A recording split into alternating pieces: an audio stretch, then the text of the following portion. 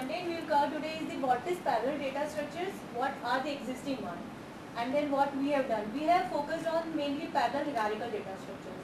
And hierarchical data structure includes the tree type structure, in which also there are various kind of data structure existing like B, B plus T, R, R star T, and uh, heap, binary search tree, and all are existing. So our main focus was on the heap, 2-3 tree, and red black tree. Why we have chose, chosen this? Because there are uh, we have proposed some efficient algorithms that are not existing yet. And the problem two we have built is the quadtree representation on pyramid machine. Quadtree is also a kind of data structure which is used for two-dimensional images. And uh, we have constructed algorithm which give a quadtree construction on pyramid models. And the future work conclusion and references. Next. Uh, as we all know, data structure is a way of storing data on a computer so that it can use it can be used efficiently. Efficiently means we can perform the dictionary operation like insert, delete, and update on that machine efficiently. And the example, well-known examples are stack, queue, linked list, array, hash table, and all. And uh, parallel data structure is the implementation of these data structures on more than one processor. So that the number of processor can concurrently perform insert, delete, update operation on this. And uh, the existing data structures are array, stack, queue, hash table, linked list, trees and all. And uh, in trees, binary search tree, heap, BB plus tree, uh, 2, 3 tree, red black tree. There are uh, existing one, but for 2, 3 tree and red black tree, they are we proposed a new algorithm for it. And uh, for heap, we have given a uh, efficient algorithm better than the existing one. So. So from now, is Raghuveer will take- Now describe the Now, what the, in the report, you must mention the proper reference and other things, right? Yeah, that each, right? have. In fact, in a slide also we have now describe the first data structure is the parallel heap. parallel heap is the implementation of the parallel priority queues. The basic idea behind the parallelization of the heap is that each node each consists R key instead of the one key. Let's try to define the parallel heap. Pella heap is a complete binary tree such that each node con- contain R items and all R, R item at node have value less than or equal to value of the item its children. This is an example of the parallel heap. In each node they uh, consist of the R key instead of the one key. Let's try to define the dictionary of operation on parallel heaps. Let's first consider the insertion of the R. First sort, sort the R and this sorted R is the merge with root node. It becomes the sorted list of the two R items. Smallest R item smallest R item is the put in the root node and remaining R item is the carry forward to next carry forward to child for next iteration. One point is that how to find out the child for next iteration. It may be left child or right child. Let's consider n is the indexing of the target code and ith is the level of the current nodes. So we check the ith rightmost bit. If it is a 0 then move left child. If it is a 1 then move right child. And that child become the current node for next iteration. This And i- like example one. this iteration is the uh, repeated until the R keys reach the target code. Now, I want to understand, again, you speak again clearly, what is initially given. Initially, we have to insert k keys in a existing heap. K number of Existing keys heap. parallel processor are And heap, uh, what is the definition of it? Is it a same binary? so uh, it's a in parallel if we are in, uh, keeping r number of keys on a particular node. So, oh, drop, So see if uh, this is a heap, this is having a1 to a r. this are having also r keys and this is also having r keys. So we are uh, inserting is r. it exactly R? Or it can be Uh, less than? no, for uh, internal nodes it's exactly R. The last node can contain one less than R At most R. at most. Okay. Now, now you want to insert uh, how many keys? K keys. K is, uh, K can be Then less up or to equal R. Now So, these the K target- elements you have sorted. First we sorted. it, yes. That the key Okay, next slide, next slide. Next. Ah, so you have sorted K elements. yes. Current node is the root node. What is Correct. current node is root node is? Is root Your node. pointer is here. Yes. Now And- repeat until the target node is it. Yes, because the last node will be our target node. In heap, the last uh, one will be the Merge, no. First Merge we K merge item those- with R item K of the items root. carried insert process with the R items of the current node. Produce the result of the single sorted list of R plus R plus K items. Okay, all- all First- this K you are yes. inserting. First this this is the Yeah, containing K. So you have inserted this. Yes. Okay. Then we uh, Then sorted Place the smallest R Item in Root uh, node. current node. Node node. And remaining R item is the carry forward to the child for next iteration. That is on the right, right side. No, not exactly. No, it right depend on the target index of the target The node. First- smallest you are keeping. Yes. First we are finding the target node where the inserted node will go. And the target node index we stored somewhere. Wait, Suppose no, no, you read this. Then you tell me. Merge the K items carried to by the insert process Yeah, with R items. So you have inserted this K elements with AR, 1 A2 AR. So you have got A1 to AR plus K. yes. right? Place the smallest R items in the current node. Current node means what? The root node. Root node. So smallest element in the root node, Yeah. right? And remaining Again, Yeah. now carry forward the remaining K items to the child. to the The child. child of the next iteration insert process down the child lying on the insertion path. इतना hard English मैंने तो दांत था सब कुछ on the insertion path So- leading to the target. So which means where that The particular largest K elements, largest K elements, Is carry forward to child. which child? Which child? Now, if we found the target code initially, if initially target code is uh, What is target code? Target code is like in heap where the element will go. The element will go at the last uh, available position. So we find this, we can easily find out this position. And if it is, uh, we find out the binary representation of this. No, this. but how are you getting that target? Then target? zero one, we just Indexing. check the index of the target code. And if it is zero, we All move. the exist number of the nodes. uh, Add the one. What is zero? Zero is the uh, like the target code of this, uh, your indexing of uh, this num- target code. How So are you going to get this target code? That is Sir, important. In heap we know how many nodes are there, and the next one will give, go to the last node or the next to the last node. In heap Ah. one, two, three, like this, So, indexing Ah, done ah, like this. So, So we have the index see, of last. Simple, simple sequential process is that we put at the last node, right? Yeah. And then you go up and adjust the things. What is the heap insertion technique? So now we are inserting k keys simultaneously. No, no. and Let, let us uh, first understand. In sequential Sequential algorithm, that insertion is done at the. See, I insert at the bottom, right? Then we go up. Yeah. Agreed? That is the same The process. Now instead of doing that, you are starting from the The top top. down. Now once you have inserted k now larger R plus K elements you will be bringing down, right? Yeah. How are you bringing down this?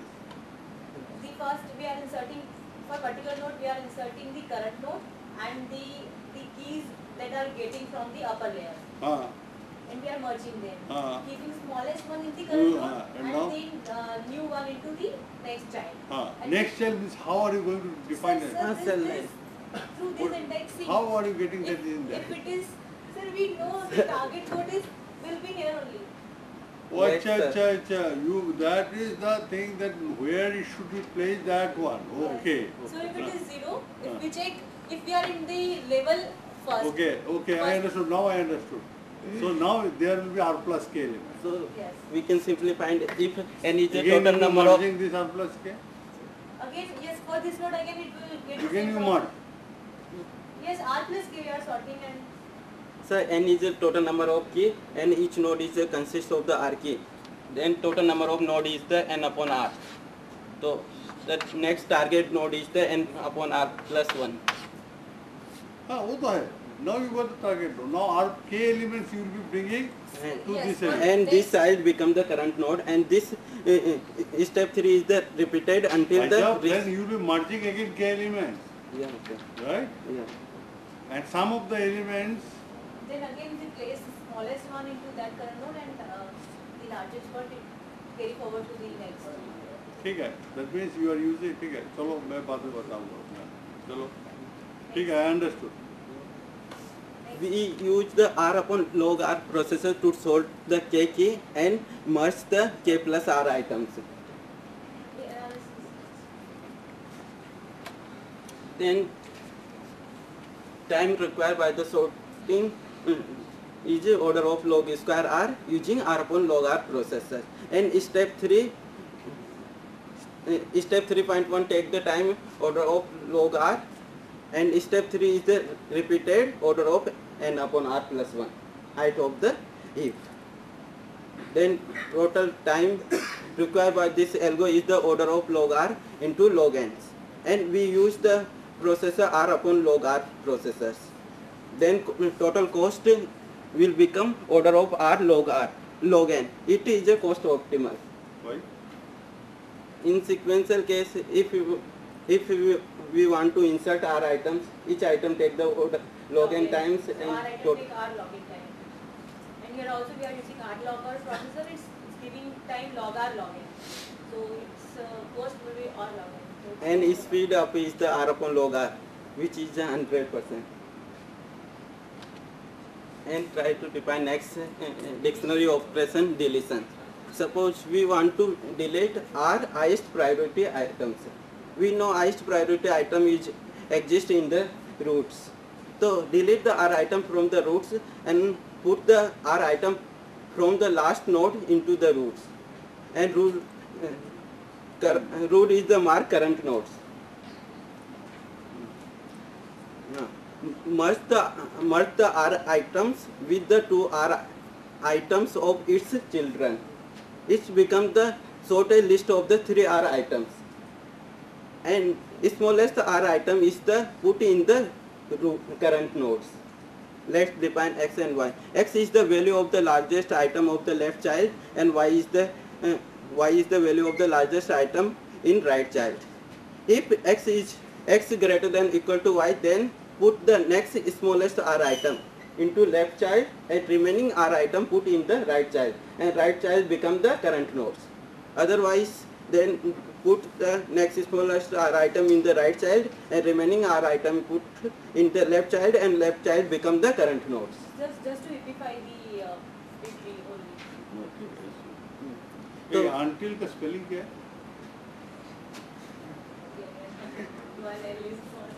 uh, to give more pressure on until and step 3 is uh, repeated until the if property is satisfied at current node or current node become no nodes once insertion is clear Uh, so we use the r upon log r processor to merge the items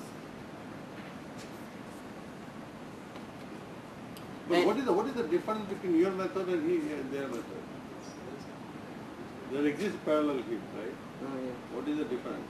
So if you are using R heat by law processor, they are using only R processor mm. and taking, if they are uh, using R processor and uh, their time complexity is somewhat uh,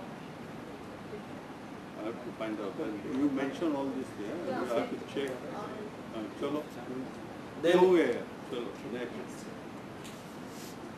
So next data structure is parallel red Z B and uh, what is red black tree? A red tree is a binary structure to satisfy the following property, in which uh, every node is colored as red or black, and the root is always colored as black, and every leaf will be colored as black. And if a node is red, then both its children are black. It means from root to a particular leaf, no consecutive nodes can have a red node and every simple path from a node to a descendant leaf contains the same number of black nodes. It means for every node, uh, every path from that node to leaf will contain exactly the same number of black nodes. These are the five properties. This example of a red tree where all the leaves are containing black uh, colored, root is black and you can see uh, no no path is containing two consecutive red nodes. And every path uh, means from that, if we consider this, so it containing black uh, node and this path is also containing black node. Same number of same black number nodes. of black nodes. So the insertion operation. What we do in sequential insertion. For if we want to insert k key in the existing tree, we uh, do this in the two phase, search phase and rebalancing phase. In search phase, for that particular key, we find out the position of that key and we insert that key as a new red node. And then try to rebalance this uh, new red node by recoloring and rotation of red black. So this is a typical sequential insertion. And uh, what if I want to insert a k number of keys concurrently to that red key? Uh, next.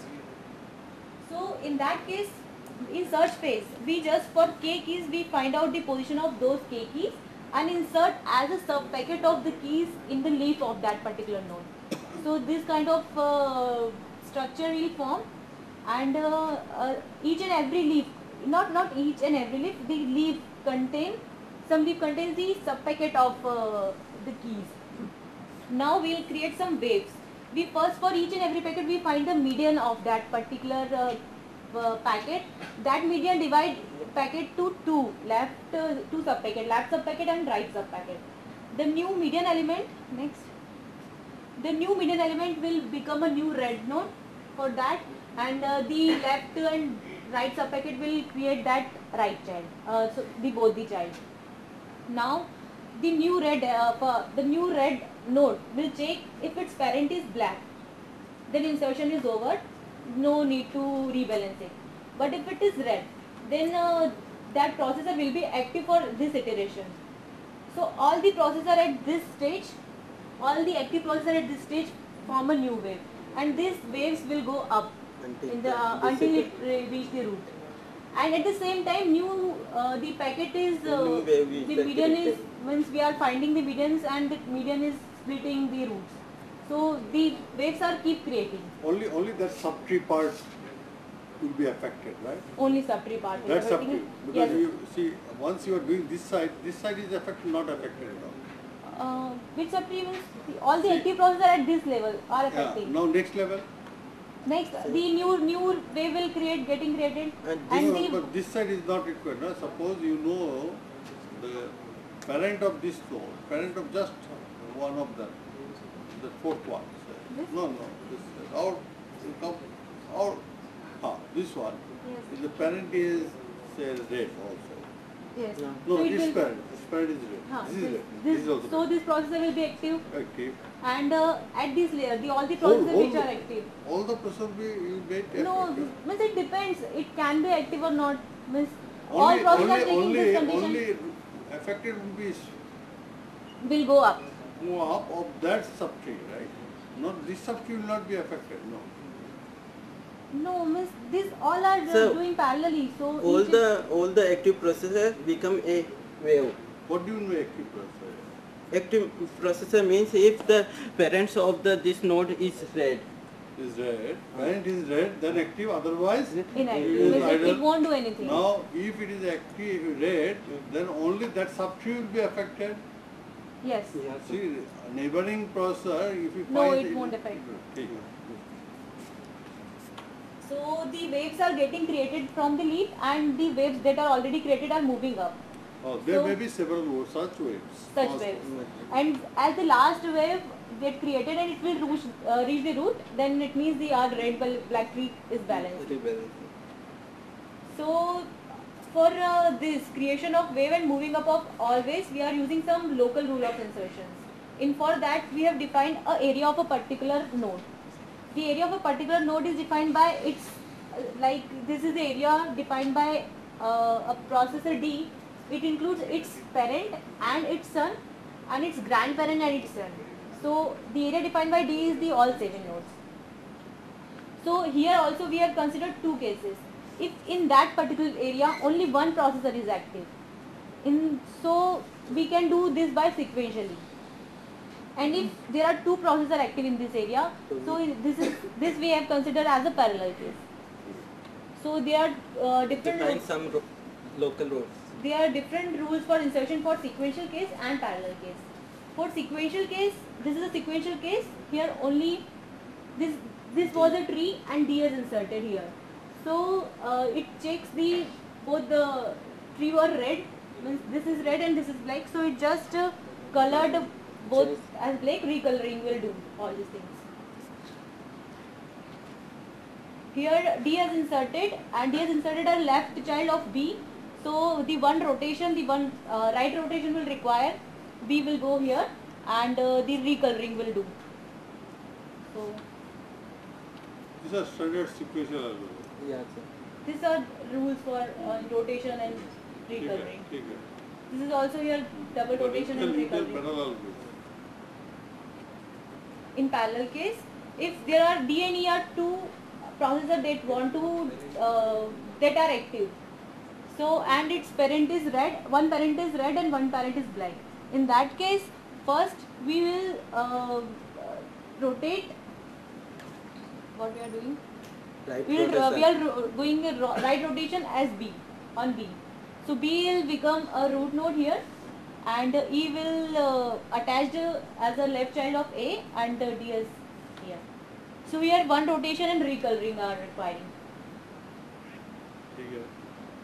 And uh, the other case, if both the parents are red, in that case no rotation is required, only recoloring will do. We colored both as a black node and nothing will require. So here also this is the total flow diagram of uh, insertion. We are inserting as a packets the K keys, then splitting as the median of this and the moving uh, that all the active processes at this layer will form a wave and this wave are moving up and the next waves are uh, keep creating at the same time. So all the waves will move up and then all the waves reach here means our tree get balanced. So time required in search phase is log n plus log r. R is we have to insert uh, number of number of keys and uh, so the set of new leaves created by the middle key constitute a new wave so at most O of log r wave log r waves can be created. And uh, waves are moving up level by level so it will equal to the height of that regulatory it's log n. So total uh, time and waves are creating in pipelining so log n plus log r and uh, the speed up is r log n by log n plus log r. So it's O of r. The bound of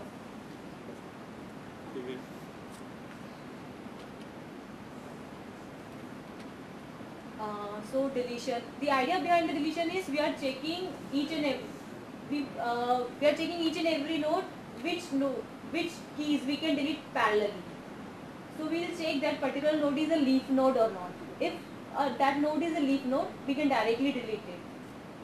And if it is not a leaf node, then and it's having only one child. So we'll check that child also want to delete some item or not. If it is not, then also we that uh, processor can run concurrently. And if it is, uh, if node is having two child and both of your children don't want to delete any item from that uh, particular node, so that uh, node is also can be processed as a concurrently. So in these three cases, we find the we make that processor active, and uh, in that particular uh, iteration, we for all the processors which are active, we delete that node and rebalance the tree. So we will repeat this whole iteration until all keys are deleted. This is uh, proposed by me. So more, more, more ARS to it again, right? Yes. So this is the analysis of it. O of log n time to No, first but uh, one. you, you give the diagram also, as you did in the case of insertion. Then only it will be all the cases properly studied. Deletion, sir, actually there is no diagram required. Means we are just taking that node is leaf node or not, and uh, No, it's required because I have to understand there are four, five cases, it, three, four cases. it. three, yeah, three cases are. So that you have to study for, for. Okay, next. So total time required for deletion is C log n, log n where C is a constant time and cost of this is of R log n because we are using R processor to delete R keys. So it, speed up is here is order of R. next data is, structure is the 2-3 tree. 2-3 tree is the special kind of the B plus tree such that every every internal node has two or three sons. Idea behind the parallelization of the 2-3 is similar to red black tree. In in insertion of the uh, K key in 2-3 tree is consist of the two two phase search phase and uh, uh, rebalancing phase. In search phase, every every key is search it its position in the tree, and end of the search phase, packets of the key hang from the leaves. Only difference in the red black tree and two three tree is that in two three tree all the live in, in same level. Then wave created by the middle key is the plane wave. Oh, only?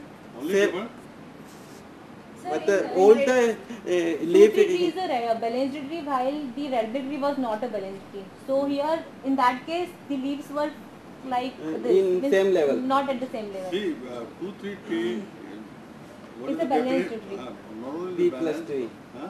What is the full definition of two, three tree? It is a ba- uh, B plus tree. It means every uh, internal node has a pointer on the leaves. sir. What is the number of, it is a K-ary tree, right? Uh, It yes. is a K array K-ary tree. tree. B- Where- Red black tree is not a K-ary tree. Yes. It is a binary tree. It's binary tree. So that is the first. uh, And then Difference. all Then nodes are in Level. same level. same level. It is not the case of. And wave created by the middle key is is a plane wave.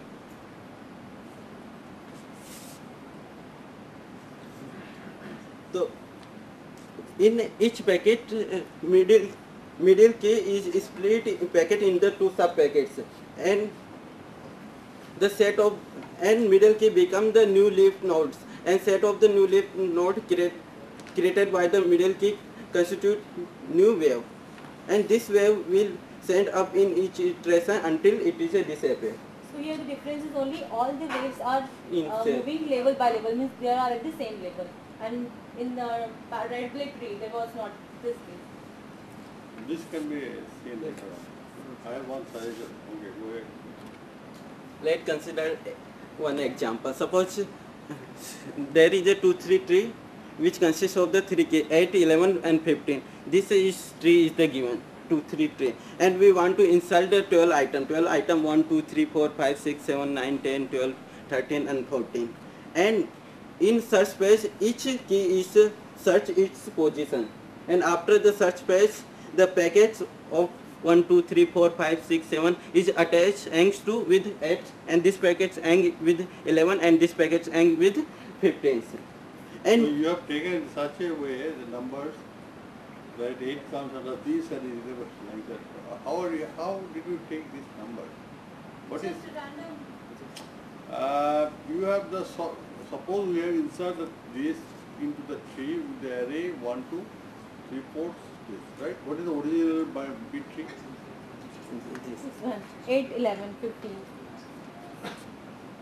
No, no, no, that is you want to insert. No, no. No, no. no, this is a- this we Oh, want acha, to you want insert. to insert this. Yeah, these this- are this tail is items about- Acha.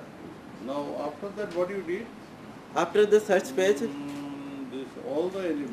that means you have to have this element sorted. Yes. 1 to 40. We want to insert this. We find out we, the packets of this key and achha. hang this, that particular uh, packet to the hmm, hmm. ah, particular leaf.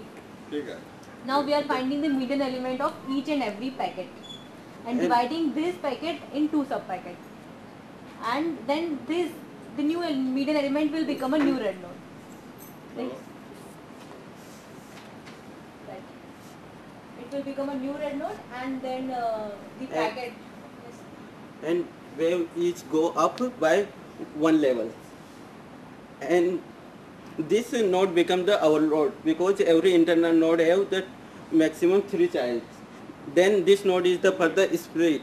9 become the uh, parent node and there become the two internal node 4 8 and 11 13s in this case. And wave is the go in the uh, root nodes at same time, next wave is the created by the middle middle key. The middle key is the 2, 6 and there is the 10, 12 and 14. These middle key become the new leaf nodes and which is uh, attached in the parents nodes. And this node and this node also become the old node and this is the, part the uh, splitting. And this node is splitting in this and four bec- four is go up in parents nodes. And same kind of this. And wave is the move in, move in the up in parents nodes. And at same time new wave is the created. There is a only singles uh, sing, singles key. So 1 3 5 and 7 become the new leaf node. And it is uh, attached with parents nodes and become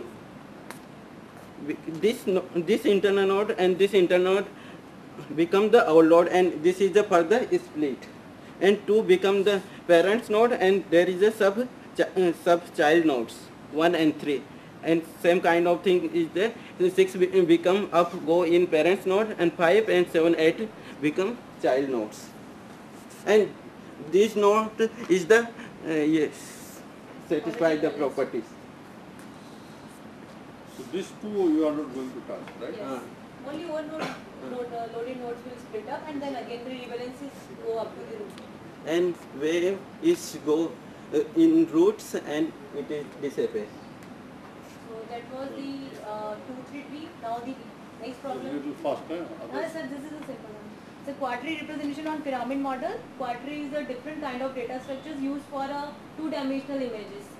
And um, uh, pyramid model, we have to And it's based on principle of recursive decomposition. And uh, it mainly the quadtree mainly used in the image part- partitioning, uh, image processing problems and uh, the pattern recognition problems. And uh, in that, uh, uh, this is a typical example of a quadtree where we have a at the root we have a original images. That image is subdivided into four sub images, and these four sub images again subdivided into the 16 sub images. So at the base layer we are having uh, images which is containing only one pixel.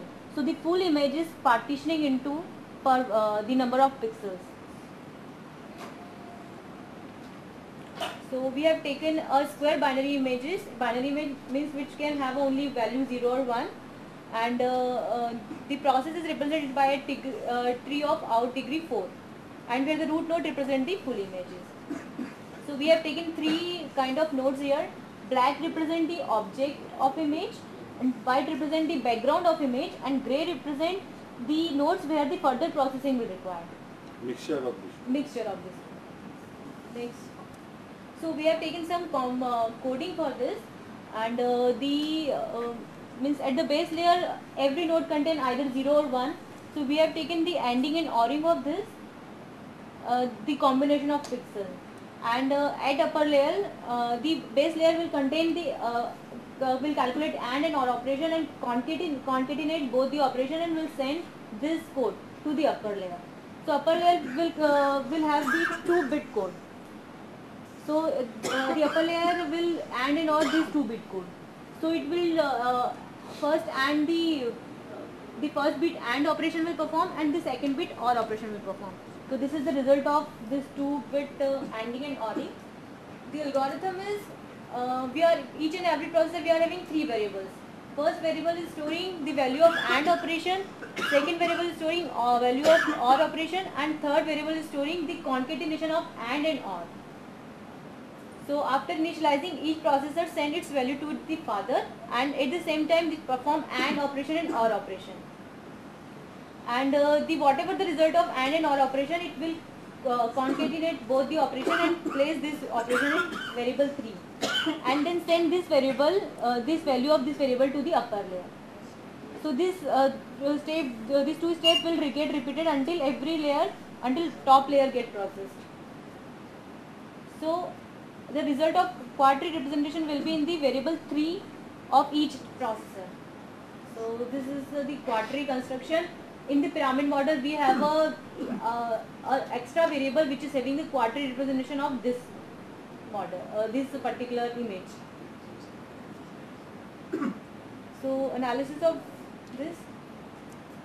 Uh, we are performing three operation and operation or operation and the vertical communication between layers.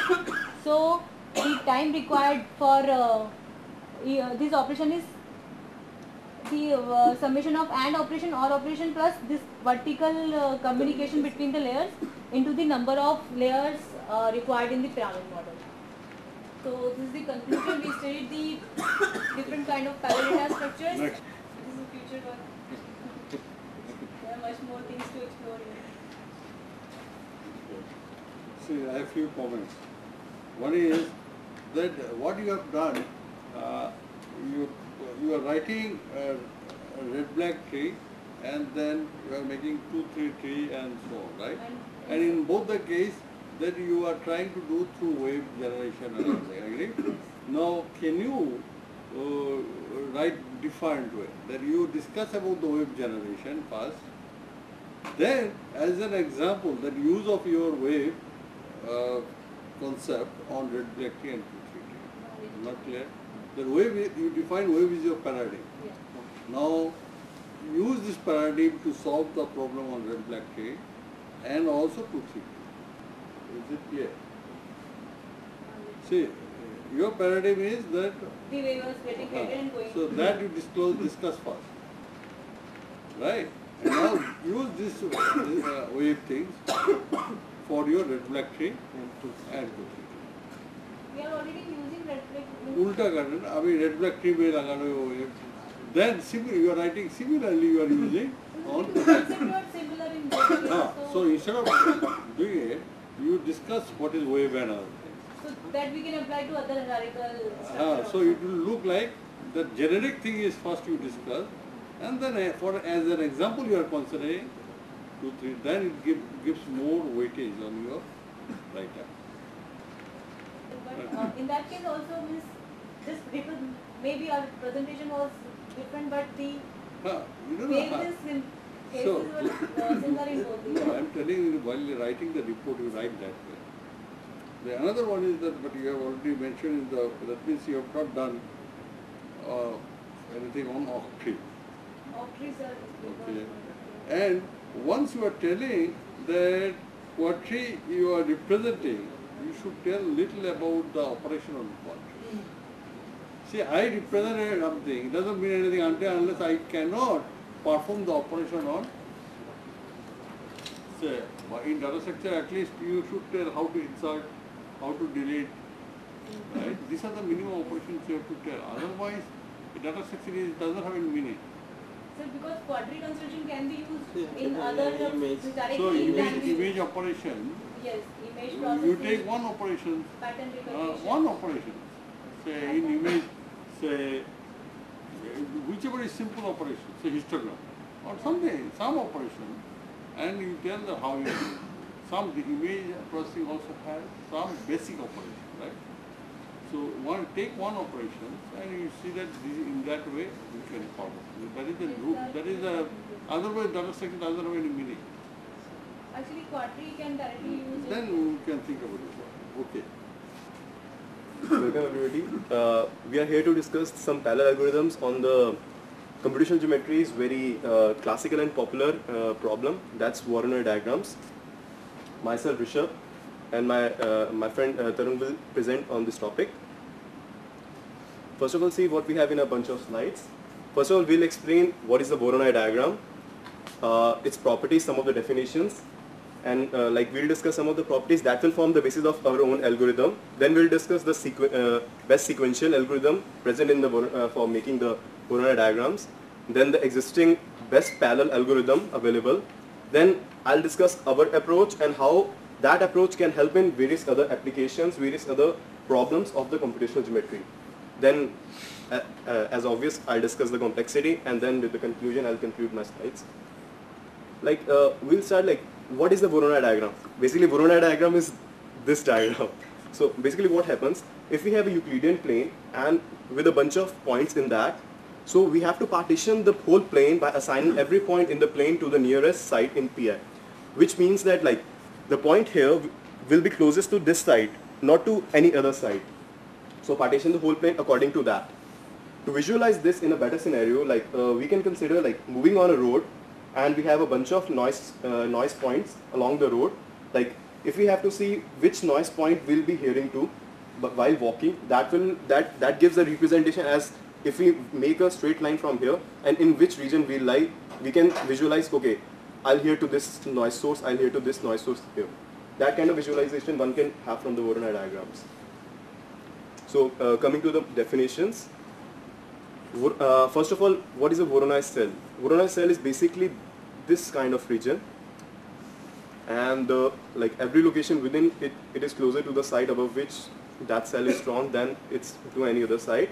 Then we have the Voronoi lines. Basically, the line connecting the two uh, two Voronoi cells is the is the Voronoi line, and the Voronoi points. Voronoi points or the Voronoi vertex. It can be any other thing. Voronoi vertex is basically the uh, the point joining more than three Voronoi cells. Now moving to the some properties. Like first of all, it's a quite condensed property. A point Q is a Voronoi vertex if and only if the largest empty circle containing at least three sites, which means is like basically if- it means like if we have the largest uh, the Voronoi vertex contains if we form a largest circle with a center as the Voronoi vertex, then it will contain at least three sites. And the second point was like it doesn't contain any other site in between that.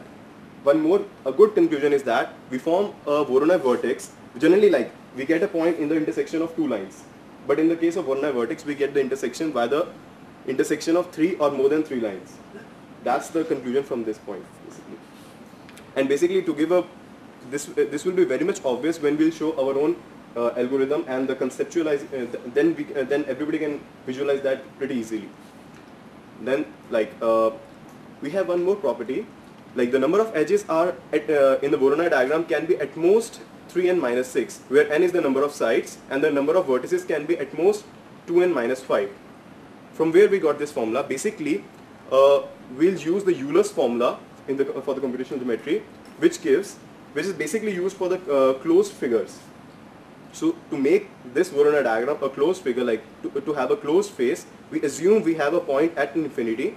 So all these these lines which were like which were not intersecting, uh, which were not like having any point to connect, they will we assume that they at infinity they connect to this point. So now we can use this uh, Euler's formula. Like this is the number of vertices. So now the number of vertices would be initially it was in the Voronoi diagram we were assuming it's it to be v. Now with this point it is v plus 1 minus the number of uh, edges which is e and the number of faces. The faces will be like with each face we have one Voronoi side. So the number of faces would be n. So one equation will come from here. The second equation will come from the fact that like each each uh, each edge has a degree of 2 like it has two endpoints so it has a degree 2 and each vertex can have a degree at least 3 like it connects to three uh, Voronoi edges. So that inequality will lead to this these two inequalities. Solving that inequality and this one. We'll get these two. Then coming to the best uh, um, best possible uh, sequential algorithm. So basically what was the so basically what was the Fortune's algorithm? Basically it, it, it has a concept of a sweep line. What it tells before the sweep line we'll try to make the uh, Voronoi diagram and after that like uh, uh, like on this side of the Voronoi li- line we don't have a Voronoi diagram on this line of the sweep line we have the Voronoi diagram but there was a conceptual error in that what was the error basically if we form a complete Voronoi diagram here then any side coming in this side will definitely affect the Voronoi diagram on this side. So actually we can't have a complete Voronoi diagram nearer to this side. So what Fortune did, he made he he didn't make these as a straight lines. He made them as a uh, parabolic parabolic curves. Why the concept of parabola curve? Basically, parabola is a locus of the point which is equidistant from this side and this whole line. So conceptually what happened, like if a side comes at this point, so that will be equidistant. So in that case, this line would be equidistant from that point as well as this point. So making the Voronoi diagram, like in that case we can have, like on expansion, this will definitely form a Voronoi line. That was the basic concept. And uh, and this parabola will definitely like as the sweep line moves on this will this parabola is, uh, will also move on like. Yeah, like and this basically this out outer thing this this we have formed the as we like keep on expanding this forms the Voronoi line. And this is this outside is the beach line. Uh, doubt. Uh, this each line shouldn't it be restricted to the last points only? which last. Yeah it is it is. Basically this is the final Voronoi line. This is this is not the beach line. Yes. beach line is the just the outside one. The, this is in the phase of expansion so ultimately when it expands so this is the final line. This is in the phase of expansion. At expansion it will also become blue and the Voronoi line.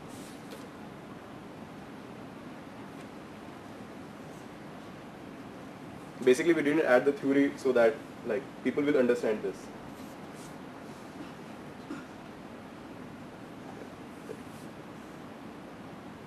So this is the parabola that just forms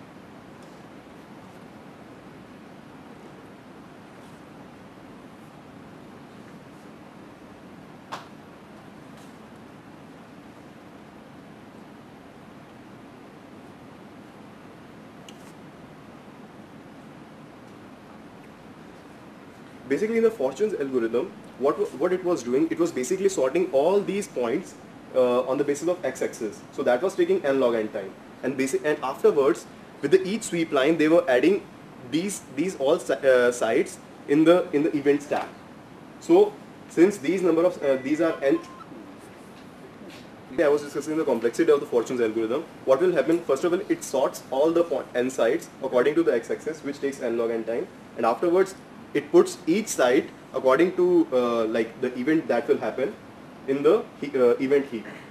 So since we have n sites, that will take uh, of the order of n. So the total algorithm will take n log n. So the best, so the uh, complexity of the Fortune algorithm was n log n, best sequential algorithm. Now we come to the optimal parallel random algorithm, which is discussed by Tarun. Uh, in the next few slides, we will be talking about the best known uh, parallel algorithm for solving Voronoi diagram. Now, it was given by Rajasekaran and uh, Suneeta Ramaswami. Now, the algorithm, time complexity of this algorithm is log n, and the order of processes that are used in this algorithm is of order n. So, the cost of this uh, algorithm it is n log n. Now, the previously best known uh, parallel algorithm, deterministic parallel algorithm, for this was given by Lee and Sen and the complexity of that algorithm was log square n. So in this algorithm they obtained a speed up of log n over the previous best known algorithm. But uh, this is a randomized algorithm. Now the basic idea involved in this algorithm is that they use the technique of sampling to divide the main problem into smaller sub problems and uh, solve these smaller sub problems in parallel and uh, then obtain the final result using merging all these smaller sub problems to obtain the final results. Uh, this is the brief outline of this algorithm and uh, I will be explaining to you right now. Now the initially we are given the uh, n sides which is the set S, the S1, S2, S3 and so on to Sn. Now from this side of set we select a small random sample R.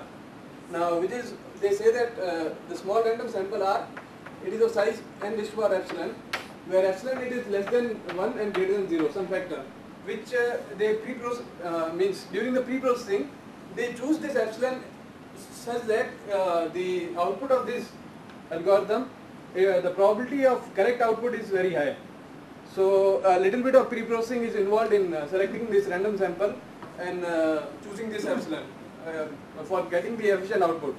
Now after getting this random sample R, what they do is that they create the uh, Voronoi diagram for this uh, random sample R and use this Voronoi of R to divide the original problem into smaller sub-problems which will be solved in parallel. Now after getting this Voronoi of R, what they do is that uh, now we need to get the small, small, uh, smaller problems, sub-problems. So they use some efficient uh, random searching techniques to get these smaller sub-problems and after getting these smaller sub-problems they need to associate the points that are the input points which each, each of these smaller sub-problems. So after processing V of R to associate these points, smaller points with these, each of these smaller sub-problems, uh, the, in the next step what they do is that they recursively compute the Voronoi diagram for each of these smaller sub-problems and finally obtain the uh, final Voronoi diagram uh, by merging the recursively computed Voronoi diagrams. Now the time complexity involved with each of these steps is of order log n. So the final equation that we get is something like this, that uh, T of n it is equal to T of n raised to power 1 minus epsilon which, are, which is the order of the uh, subproblem that we get plus uh, the speed of the final time complexity that we get is order of order log, n and the, the best known deterministic algorithm for this problem uh, previously was given by uh, Sen and Lee and uh, it had a time complexity of order log square n. So this algorithm, randomized algorithm, it obtained a speed up of log n using the same number of processes of order n. Uh, so the speed up of log n, uh, order log n. You shouldn't compare randomized algorithm with deterministic algorithm. Yes, of course. Yes, we cannot compare it. But uh, the speed up is this. so uh, after this step, uh, we will be giving our own algorithm. So now it's the time for our own algorithm. So it's a soap bubble algorithm. So basically, I was searching on the blog and read, uh, saw the soap, uh, soap bubble paintings. So that gave me an idea. Why don't we have the soap bubble as a uh, why can't we conceptualize soap bubble as our own Voronoi science? So basically, what happens? Soap bubble has a very good property of expansion, and when it like when the two soap bubbles meet, so uh, each pushes each other, and it forms a kind of like equidistant. It uh, expands at the equidistant level. So that kind of uh, visualization can be compared with the Voronoi line. So what happens? We assume the soap bubble as each Voronoi side, periodically pump each bubble equally so that each expands in an equal fashion. And expansion of the bubbles will touch each other and form a Voronoi line, I missed the Voronoi, Voronoi line in the two dimensions. This can be conceptualized here, like if you took, uh, take a like mirror and this will be a line. When we have uh, more than three lines, uh, when the three, more than three lines meet, they will form a Voronoi vertex. So this was the property that I was uh, referring to. What will happen like when the two bubbles will expand, they will keep on like this line will uh, this line will keep on expanding.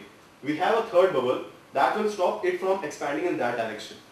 So uh, to get a view, like that third bubble will touch this one and this one. So it will have uh, one line here, one line here, and uh, the expansion will stop only when all of three, all these three meet, and that will form a Voronoi vertex. And when this form, this forms with uh, more than three circles, it uh, like uh, that. Uh, then we have more than uh, uh, more than three bubbles. Like basically, the concept, uh, this concept is not only used, can be can be used in the Voronoi diagrams, but we have conceptualized more problems which solve this thing. First, first one is a little bit obvious, which is the three, we can have the Voronoi diagrams for the three dimensions. Uh, basically, we replace the circles with the uh, bubbles and lines with the uh, lines with the replace the lines with the planes. Two planes meet. I mean, the three circles meet. They form Voronoi line. When the more than three circles, four circles meet, they, they might form a Voronoi vertex. Now uh, comes the more important part. Actually, Voronoi diagrams are used where the space need to be partitioned into spheres of influence. Each side is associated with a sphere of influence. At what uh, like at what distance we can hear its influence. So, what if, if one side is more popular than other? Basically, the idea came from the fact that like while moving on the road, if like I, I watched one side that was making noise, but I was not able to hear that noise. But basically, I was hearing some other noise which was made by some distant source. Which was more So, powerful as which was more powerful. Yeah, the conclusion is that was more powerful. So that kind of thing is not uh, covered by the Voronoi diagram since it uh, captures all the Voronoi diagrams have equal power. And basically the Voronoi diagram is a special case of that problem. So that problem can be uh, can be solved by our conceptualization. So basically what how we can like a person moving between two noise sources here's only one and more important, like if we have a self-guiding missile that can locate its target. So if at the army base we have to study which target it will uh, go and uh, hit, that that that requires a uh, little bit uh, real understanding, like which which target is more influential that the missile can uh, see. That kind of thing can be found with this problem. Basically, uh, what I was referring to is like this is these are two sides and this is more powerful. So the Voronoi line won't be this, which is the midpoint of both of them, but basically this will be according to the power. So, will the Fortune uh, Fortune algorithm work for this? Actually, the answer is no. What happens? Uh, as we were uh, having the like it's a straight line and uh, this this thing expands. So this is taken into consideration like this is equidistant from this point. But what happens if we have a side here which is more powerful than this one? So what will happen like since this side is more powerful, so this this this can't be a Voronoi line. Voronoi line had to be some somewhere around this, since it is more powerful, and that thing can't be made by this. Then the conceptualization of the parabola will change, and in that case, uh, Fortune algorithm will fail. But in our case, if we like um, if we modify simply like uh, when we were pumping the air in the each slope bubble, and this pumping if done in accordance with the sphere of influence, like one bubble is expanding more than the other, then and rest we proceed as normal, then the Voronoi diagram will be as this uh, like that will solve our problem, which like one one sphere of influence is more than the other.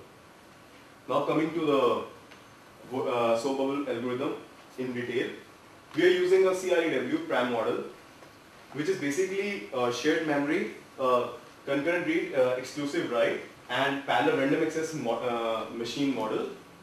And we assign each process, uh, a processor to each side, increase the size of circle at each side. Voronoi line, uh, Voronoi lines will start at the midpoint of to each side. So basically, first question popped up like uh, at what point will like each circle will uh, will meet and form will form the like how we'll calculate that. So basically, that will happen straight at the midpoint, and the straight line we can find from the two points. We know this is the midpoint and this is the perpendicular bisector. So we have the line equation. That's that that can be found in unit uh, unit computation. Now these two points are used for the for uh, finding the Voronoi vertex. So basically what it says, each side stores with which side Voronoi lines has started. Like we have a circle, if it, has started making line with three circles, it notes that information. And if if a circle is a cycle is made between more than three uh, circles, then we have a Voronoi vertex. These two points will be explained in this slide. Like initially we have a scenario in which one was touching the three, two was touching uh, two was touching three, and now two has touched one. So what? So this information is in of in in each side, basically with each processor. So two will inform uh, two touches three, then two informs two to three to one. Then one will find out that it contains three in its list, which is this. So it finds it has a cycle. So this cycle will form, like we have a cycle and ultimately we know that it will result in a Voronoi vortex. So in this scenario, like we don't want to calculate for each point and like in, in this way we are uh, uh, cutting down a calculation cost. So uh, in that scenario we have the Voronoi vertex touch all the circles, uh, Voronoi vertex will touch all the circles and we have a Voronoi vertex. Now it's the time for uh, complexity. The circle expansion will run up till each circle collides with the other. Basically, expansion of the circle is limited by the other circles. So, this expansion, uh, like, uh, so basically the expansion will go on up till the longest radius of in the Voronoi diagram. The circle having the longest radius will expand up till that we can't have the final Voronoi, uh, Voronoi diagram. So the, basically the time, the worst case time would be the longest radius. But to find the uh, longest radius is in itself not trivial. So what we did, we find the average time complexity of the whole scenario. We find the longest radius to be order of uh, AB by n, where AB is the dimension of the plane. How this thing came? Actually, on an average, if we see like to each side, how much area would be associated? That would be the uh, uh, that point uh, like the total area divided by the number of sides will give that figure. So if we consider the, the normal area to be like uh, this x into one unit, if AB by n, so that x, so one dimension, the maximum one dimension that it can go was AB by n. And we are interested in the longest radius, and the longest radius would be the diagonal of this one. So that would be x square plus 1 under root. And that would be of the order of AB by n. From there we got the AB by n uh, thing. And so, we are using, uh, this is the time complexity and we are using n processors so the cost came out to be AB. So here's the catch. This AB is not a constant thing. We have not achieved something very new. Actually what happens, like the distribution of points is dependent upon this area. So in that case the cost will be order of n, which is better than the sequential algorithm, I must say. We are getting the better, exist, uh, better than the existing parallel algorithms if the distribution is better than n log n is equal to k times AB, where k is a constant, and in that case the co uh, cost will, like in the, in, in the last, in this limiting case, the cost will come out to be n log n. So, now to conclude our slides, we have like, we studied the best sequential algorithm and the parallel algorithm. We conceptualize and analyze a new approach for solving the problem and our, pro- uh, our approach can provide solution to the other domains as well. So here we, uh, here I conclude my, uh, our presentation. Thanks and any questions? Who will? I don't exactly understand how you say the time complexity order uh, longest radius. Like, say, processor one will not know anything about the other process, you know, the circuits of the other process. Yes. So you have to have some method of getting information from the other circuits. Yes. And after that, it will take longest see, radius see, steps. Actually, what will happen? Each circle will. Have you understood the point? Each circle will expand. Like it's it will always expand, yeah. but the other circles on touching will limit it from expanding. Yeah, right. Okay. Yeah. So it will expand only up till that point. Yeah. So the It can't expand more than that. So the total number So of it knows- total number of expansions will be order longest radius. Yeah. Right. So as as all the circles have expanded, Yeah. so all the circles will expand. Like the limiting case would be the longest radius. For all these. All the expansion. Yeah, but how will you find out which, which ones are touching and stuff, you know, like, No, uh, we are, uh, when, when they are touching, we are storing the data set, we discussed earlier that, uh, Actually, we, I try to make my slides a bit easier. If you if you want to go into complexity, I can discuss. We have we are covering that in uh, uh, in a report properly. Yes. Basically, I have conceptualized like each each site will have a trie kind of structure, so that it. What he's telling that how did you get AB by? Yes, basically he's he's asking like how we'll get the uh, like the points of time intersection. complexity, what he's saying is, okay, I understand order longest radius, because that will be the, you know, total expansion, m- maximum expansion. Mhm. But after each, you know, say you increase by one unit, and then probably you'll have to see if something is touching. Yes, yes, And then yes. you again increase by one unit, that's Yes. what I feel. yeah. So that checking should be done in constant time, then only the time complexity can be order longest radius. If it, if it is not in constant time, you cannot say order longest radius. So I don't understand how you can do it in constant time, because you have got say n process. So how will I know processor one is touching with what other process, you know? That will be dependent on the number of, Yes. For that, I think you missed somewhere. For that, I discussed this thing, and for that, like two circles touching, that will be found by at the midpoint of two sides. So we don't have to search for each processor and find whichever thing. I'll initially I'll make the uh, like okay here's the so actually what will happen each circle knows its side each uh, each processor knows its side in the constant time it will go on we have an array which has uh, which is of the length of the uh, x x uh, x axis of the whole thing one minute, when you say each processor knows its side, what do you mean? Each, each processor is associated with a site See, a processor will get a, finally a processor will get a polygon, right, in the two dimensional, no initially it's the first step it's the first step of the algorithm. Okay? what each, each processor has it has x and y axis of its side. Okay. okay? So it, each processor goes into the array it's a shared memory it goes and marks where its x-axis is. Okay? We have an understanding of the distribution beforehand we know what what can be the longest radius. Approximately. Not Okay. okay? So this side will do this is the longest radius this is the longest radius. All the sides that will come in that domain will be put in a stack in a time stack of that side which like if if you are coming through here 3 is coming here.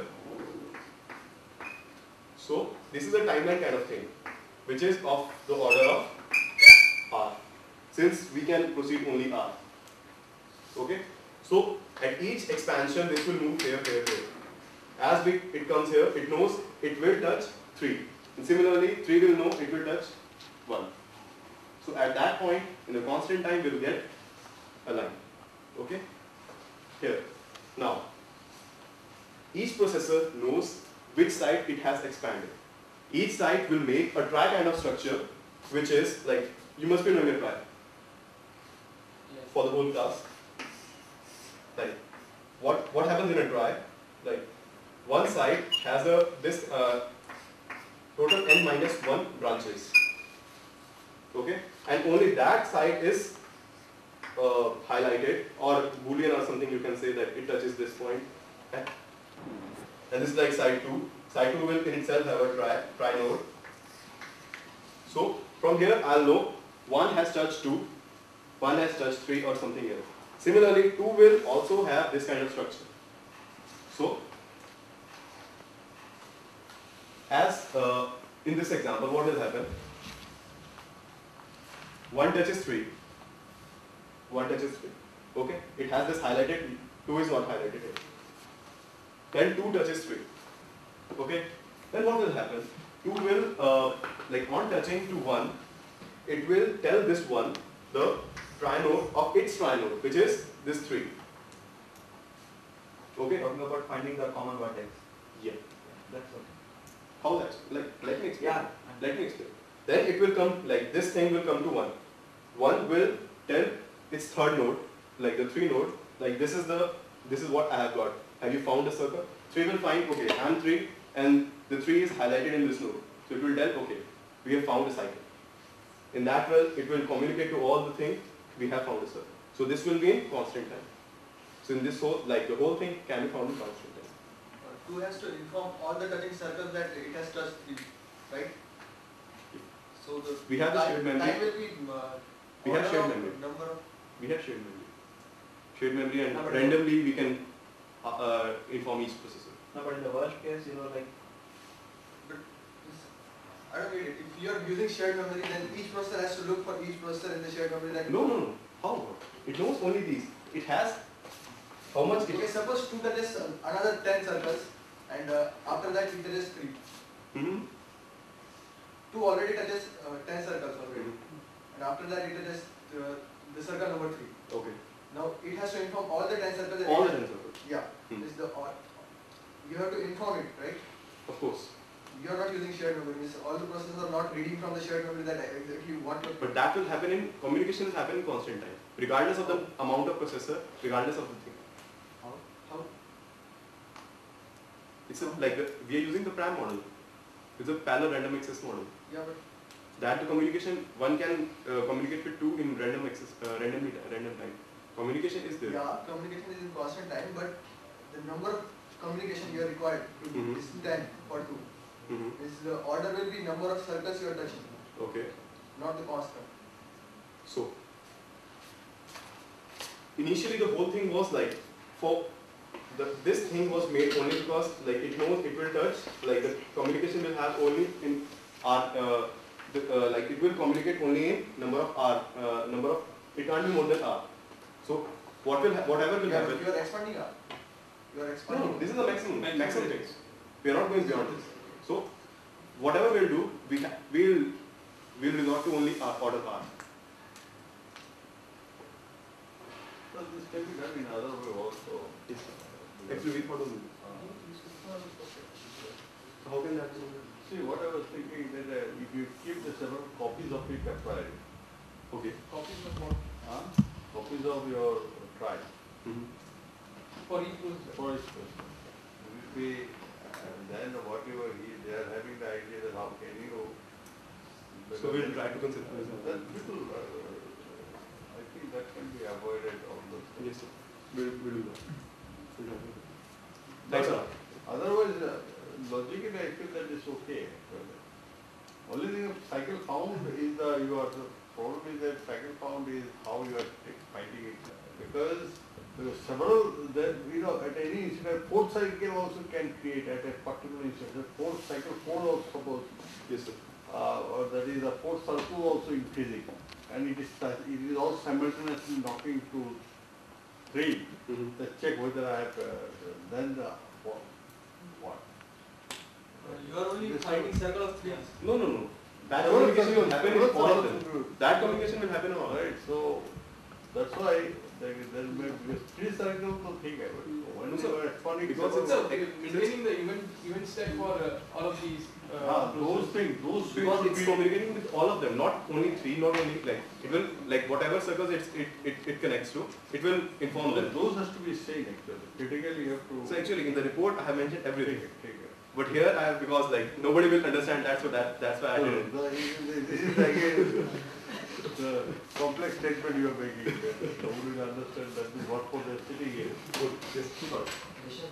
Rishabh roll, roll number is two nine zero, and Sorun roll number is two seven seven. The, see, the title itself, you know, you have given a very big title, the implementation of parallel algorithms in. You have to implement all parallel algorithms. Some of the panel. Some of the parallels. Now again, there exists a class of parallels. Right? Maybe sorting, maybe subtracting, maybe So some. we implemented uh, from different from uh, Some class, some class of parallel. Yeah. So title should not be such a big thing, you know, it's a very big uh, thing you have mentioned. So you must, or implement of some non-numerical algorithms, uh, or some semi-numerical, something like that. Actually, the algorithm that implemented are from different classes. But class is more, semi-numerical, non-numerical, or numerical. Not all, so some you are writing. So have some non-numerical, non-numerical. Right? Well, good morning everyone. Uh, this is Deepak and myself Mayank. We have implemented some of the algorithms that were covered in class and uh, two extra which have not been covered in class. Start with the first of all this is the table of contents. First of all we'll give a brief overview of the PVM, the parallel version, the sum sum algorithms and the sorting algorithms. These were covered in the class and the transpose also. Then there are three over the finding square root and n queens and traveling sales person. Uh, we like to give PVM overview first. Uh, PVM enables a collection of heterogeneous computer systems to be viewed as a single parallel virtual machine. Uh, it means that uh, we can uh, uh, the, the programmer that programs on the PVM environment uh, need not to worry about the uh, architecture on which uh, he, he is programming or running the PVM. Uh, so PVM transparently handles all these message routing and data conversion and task scheduling uh, across the network of incompatible computer architectures. This is the computation model that PVM uses. The input is partitioned based on the functioning of the task uh, or data partitioning uh, across number of uh, computers available. Uh, and these computers perform their assigned task and uh, send the result to the uh, node uh, which, is, is called master and master node displays the output. Uh, these are the, some of the PVM routines that uh, we use frequently in our programming. PVM MyPID registers the uh, given task uh, and get the unique ID in the PVM environment. PVM exit exits the task from the PVM. Uh, PVM uh, spawn creates n number of tasks uh, uh, that mentioned in that variable n task and it creates task task of character pointer task. UM kills the task. UM parent gets the parent ID of the child. Uh, parent child gets the parent parent ID. PVM initialize, uh, initialize the sending. PVM send uh, sends uh, to the destination with uh, given tag. PVM receive receives with the same tag. And PVM multicast uh, multicast uh, to the n task number of uh, tasks uh, which are whose TIDs are given in this array, pointed by TIDs. Other than this, there are functions uh, to pack and unpack different types of different data types for integers, float, doubles. You have all dif different functions for that. and you also have a concept of group where you can assign a few tasks to, a particular group and then you can access them through a, through the group ID, which is a sequential ID starting the index starting from zero. Here the TIDs are unique but they are not uh, necessarily in sequence and we, uh, we are not sure about the first number. So we, if we assign them to a group, we know that the, the group IDs will start from zero and go until the number of elements in the group. If group contains p number of persons, then it assigns uh, different IDs 0 to p minus. And we can also broadcast to a group just give, by giving the name of the group. We started the sum algorithm. So this is the same as in covered as in co that was covered in class. We have n n elements and p process. We divide the n elements into p groups such that the each the size of each group is n by p, and send them to to, to the different process. Each processor adds it, its n by p numbers, then sends it back to the what happens is this, you have uh, say uh, processor P1, P2, P3, P4, P5 and so on. So how what you do is P1 sends it to sends its task to P1, P3 to P2, P5 to P4 and so on. Then in the next next stage this sends it to P0 and this receives something from the next if there is some other. Then in the next stage this sends it to it. So finally we get the result in the P0 processor which is actually the master processor and it displays the result over there. Are you using the master processor to spawn uh, the some like a slave uh, method on all these, or are you doing it like crowd computation? Master does both. No, I mean, I, so you are having a typical master system where you where the master spawns the slave. Master spawns the slave and it also computes, it also Yeah, keeps some numbers for itself and It will also be a slave to itself. Then the sum on the linear what the difference between the two is that in PVM we can send the da- da- data directly from a processor to another if we know the ID of the processor to which we have to send. While in linear array we, we only have connections of this sort. So in this in the in this implementation what we do is when it follows the same logic but when when this this data has to be sent to P0 it goes through first P3, P2, P1 and then reaches P0. How are you implementing the receive So you count the number of receives each of these uh, you have, and then you. See, what happens is uh, this is first of all P0 will be receiving from 1. No, I'm saying, are you counting it uh, somewhere and then doing it, or See, I, I just I see this that P0 first receives from 1, P2 from 3, P4 from 5, and all odd odd numbered yeah? process or have to send it only once their own their own data. So all odd numbers send it first. Then you have only these you have or only remaining with the even number process, which also then alternatingly will send their data to back to, the previous processor. So what uh, what I do is I maintain a variable and I just keep on multiplying it by two every time. So I know that from what it has to receive and to which it has to send. Then 2D mesh is also similar, just use the, in, in the in two, two dimensions, the same process. You first collapse the columns and then the first row. Then you move on to sorting. The enumeration sorting has, in, uh, you give it n elements, so it uses n square process. For sorting, what it does is, uh, it creates a mesh-like mm, structure, but the connections are in the row and column as in a, as in a tree.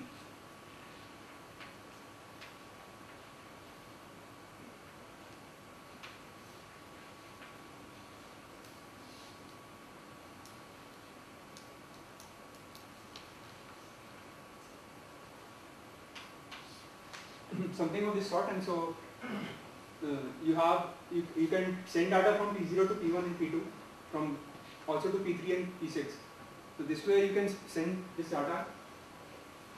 Uh, what this does it, we initially, we first of all give uh, the x, xi variables to the uh, all of these x1, x2, x3 and similarly x1, x2 and x3. They store it in uh, two different variables a and b.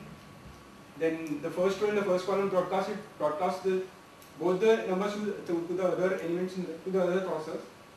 Then all of them calculate the rank depending on the values of A and B. Then the ranks are summed up in the first column.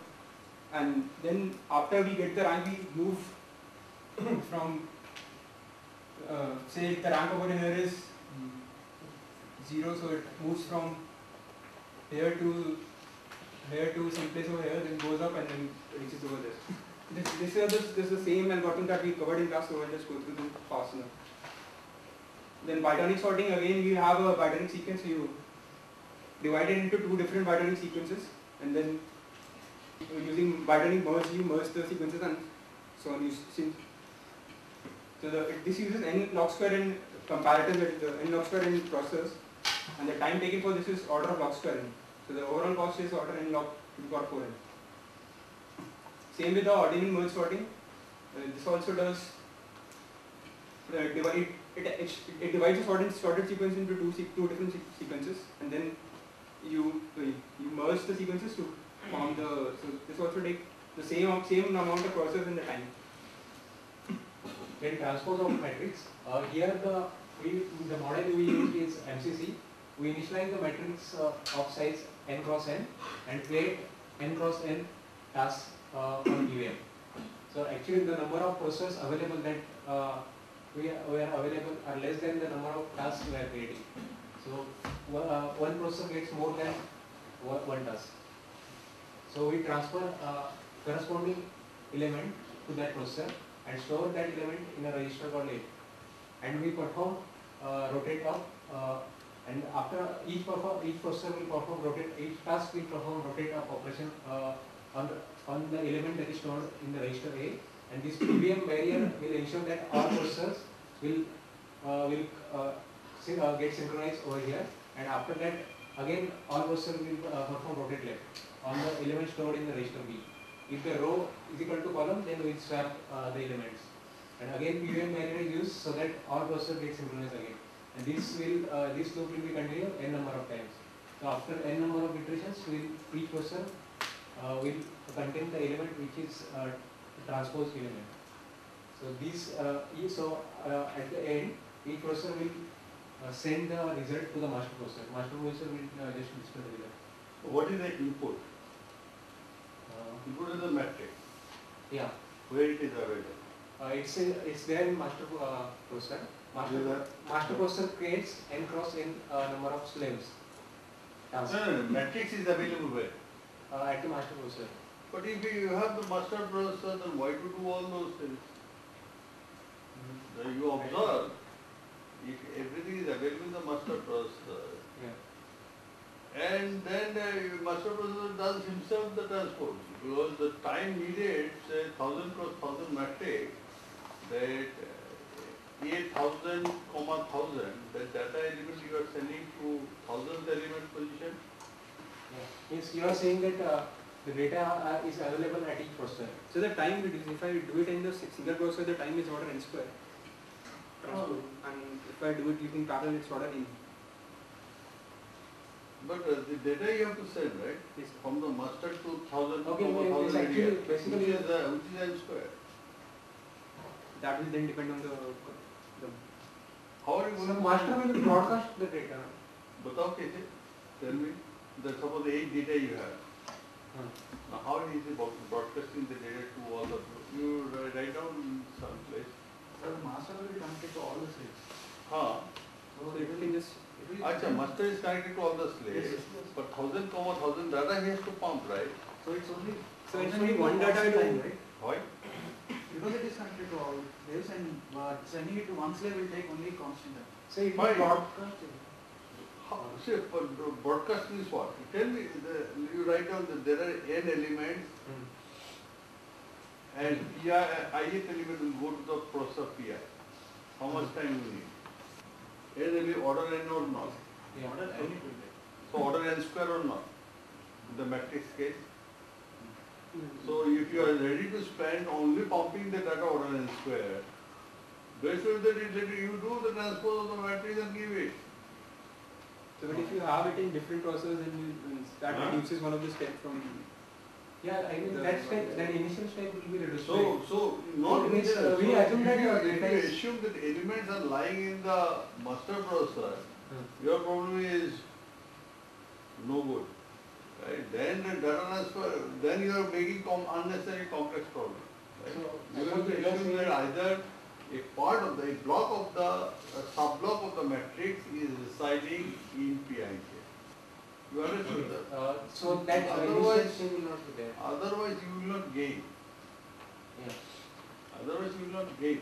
In reality. So you have to remove the first. Yeah, the first. You assume that, you assume that sub-block of a matrix is residing in slave process. each process. Now you want to make the transfer. Yeah. Then, how you got the sub-block? From some pre-processing, to some pre-processing. Okay. I mean, it's, uh, the, the broadcasting step that that we Ah, introduce can be. ah, Otherwise, uh, time, if you estimate the time, you find it. Yeah, yeah. You will not the, have the broadcasting step uh, can be included in the first thing. Should not include in that. Uh, yeah, in the main algorithm. it. Main. Uh, the next algorithm is the finding square root of a number using bisection method. Uh, here, uh, x be the number whose uh, square root is to be taken. And in the initial case, we initialize the start and end with uh, 0 and x respectively. And we divide start to end interval into p equal intervals, where p is the number of processes that we are available, and uh, we are storing it in an array. So we obtain a of x and a of x plus 1 such that f of a of x, x is less than 0 and uh, f of a of x plus 1 is greater than 0, not the reverse Um, and we find c such that. Uh, c is equal to a of x plus a of x plus 1 by 2 and we find f of c, we check the sign of f of c uh, and we compute start and end uh, appropriately using uh, signs of f of a of x and f of a of x plus 1 and we uh, again assign start and end. And we broadcast the start and end. And this will be done till we get desired accuracy. Problem that uh, we have implemented is n queens problem. Here the problem involves uh, placing n queens on n cross n chessboard such that no queen can attack any other queen. Uh, the, we have uh, tried to find all possible solutions and uh, the solution that we calculated is by, by, uh, by, backtracking method and the complexity of backtracking rises exponentially as the size of n increases. Uh, here is the working of sequential algorithm. Uh, to find the position of the queen in kth column, uh, we find it such that it should not be attacked by any of the previous uh, k minus 1 queens which are already placed. So if it is not possible to find uh, such a position for kth column queen, then we backtrack and find the next safe position for k minus 1 queen. So here is the uh, working, here we place the first queen at first to first column. We try to place second queen so that it should not be attacked by first queen. The, the safe position for the uh, second queen is third, third row, uh, second column and similarly we proceed for the uh, third. Uh, so the safe position for it is fifth row, fifth row, third column. So similarly we do for fourth and fifth. this one is the parallel algorithm. Here we note that the, so all the solutions that we obtain by placing the queen at first row, first column position, first row, second column position, and likewise first row and column position is independent of each other. So we can compute all these solutions parallel. So initially we have n number of tasks. We call that as task. So at the initial uh, stage itself we have n tasks, and we will gather the task till the number of tasks that we, uh, uh, that we have reaches p. So that each processor will get one task, and it will compute all possible solutions for of that task. So to gather a task, uh, uh, how do we do? The, we split the initial n task such that we get p number of tasks. So here uh, i level uh, is another variable that will come into picture. So, uh, so initially we have four number of tasks for this matrix. Uh, uh, suppose number of processors that we have are more than four, uh, then some of the processor will- may remain idle. So uh, that case, we will compute the task. Suppose this is the first uh, first queen. We compute the task for the second level also. So the, the next possible positions for the second uh, level queens are this one. So these are we gather three number of tasks. We do similarly all these uh, three positions also. So likewise we continue uh, till we get p number of tasks. This uh, this number of levels uh, that we are going to traverse depend upon the uh, size of uh, number of processes that are uh, available to us. So this task uh, is an array which will store all the tasks, and uh, this this now our job is to only finalize this loop. So individual each person will get one task, and it will perform that task and complete all possible solutions of that task. So this, uh, if you parallelize this loop and we, uh, we use this routine uh, as uh, queens i level and task of x, then this processor will start with that level uh, and uh, this task of i as initial values and will calculate all solutions. Uh, the analysis of algorithm is like the, the complexity of sequential algorithm is uh, order of to the power of n. Uh, here the complexity of parallel algorithm is at, at stage 1 will be computing all possible tasks that are needed, that is p number of tasks. So at, uh, at the first level we have uh, n number of tasks. At each level, uh, as each subsequent, level, the number of tasks uh, goes on increasing by order of n. Uh, and the, at each level, the number of processors that are available for the computation will be strictly greater than the number of tasks that we have gathered so far up to that level. So we can split these tasks, uh, uh, task of gathering the tasks across all the processors that are available for that level, and uh, the time required for this uh, this particular step is equal to number of levels, and number of levels is a function of n and uh, the value uh, of this number of levels that are uh, needed uh, to complete uh, to gather the task is uh, is found to be order of log p by log n, and the complexity of second uh, stage uh, will be reduced by factor of p because we are assigning uh, each task to each of the processor available, and there is no communication overhead. Uh, each processor will compute uh, all the solutions that, that are possible for that uh, task. So total complexity becomes uh, to the power of n by p plus log p by. Uh, here uh, we can reduce the complexity of the problem. I mean complexity cannot be reduced, but the execution time required can be reduced by exploiting the symmetry uh, of the problem. Uh, here the symmetry along the vertical axis is that uh, all solutions obtained by placing queen at first row, first column, and all solutions obtained by placing the queen at this position and this position. And similarly for this position and this position, uh, uh, almost uh, mirror image of each other. So we can avoid these these competitions. So half of the competitions can be avoided. And similarly for the horizontal uh, axis symmetry, uh, all solutions obtained by placing the queen over here and over here uh, are exactly mirror image. So again, the competition can be avoided for, for uh, last rows. So here are the some of the special cases. Uh, when n is uh, prime, the solution can be easily found by drawing straight line on n cross n finite plane. The solution equation for it is y is equal to ax plus b, where uh, a is not equal to 1. Uh, if we equal to that, then we will get uh, all places uh, placed diagonally. So for that case, uh, a is not equal to 1. And for n is equal to 7, if we put values of a, 4, 5, uh, and b is equal to 0 to 6, we will get all possible solutions. So that uh, execution time of these particular, all particular cases can be reduced. Uh, and uh, when, when n is equal to uh, product of two composite uh, numbers, n is composite number, is product of p and q, then we can uh, directly compute the product of n queen and q queen solutions. And we will get the result for n, n queen problem. So for example, if n is equal to 35 and p and uh, p is equal to 5 and q is equal to 7, then we can generate, uh, we will compute the solutions of p queuing, we will compute the solutions for q queuing and we just uh, take the product of this and the total number of solutions we will generate is of, uh, of this formula. Uh, so we executed uh, this uh, on PVM and here are the results that we obtained.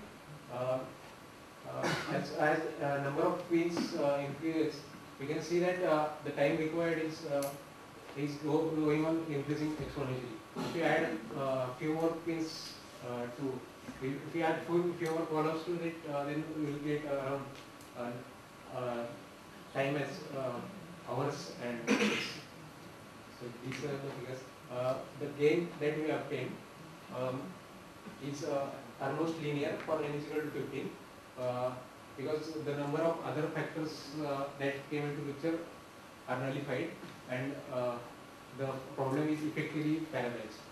So for n is equal to 15, as you can see for in the last column, uh, the gain is almost uh, linear. The next problem that we implemented is the traveling salesperson problem. Uh, the definition of problem is uh, that uh, for G, VE, uh, graph, a tour, tour of G is simple directed cycle that includes every vertex in P exactly once. And we want to find the tour with minimum cost of traversal. Here is the sequential algorithm.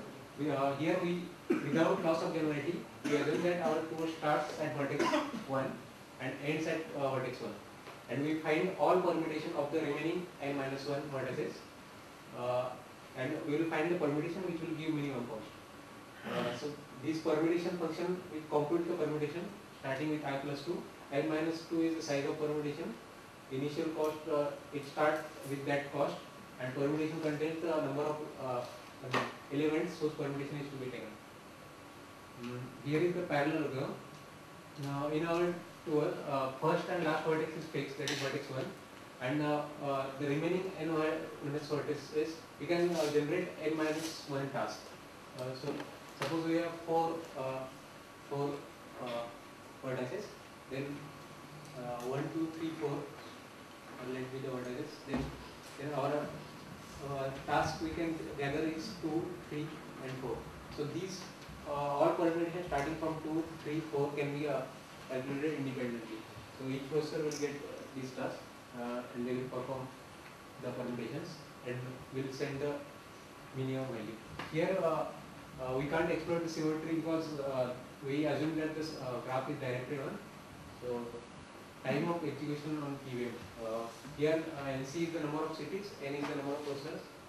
Uh, when NC is equal to 14, uh, you can see that it's growing exponentially. Time required is very much large. These these figures are on BF